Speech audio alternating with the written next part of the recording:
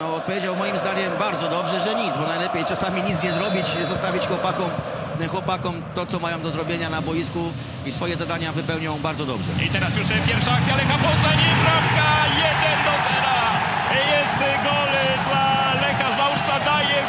Chwaliliśmy Jagiellonię, natomiast zupełnie się tutaj pogubili piłkarze Michała Probierza. Czegoś takiego się chyba tutaj nikt nie spodziewał. Liczyli wszyscy na, na zwycięstwo, na, na dobrą grę, ale kompletne zaskoczenie, świetne zagranie z lewej strony, właśnie tak do środka zszedł tutaj Szymon Pawłowski, prostopadła piłka, zaspali obrońcy, tak chwaleni obrońcy, którzy są nie do przejścia w lidze. Popatrzmy jak to się zaczęło.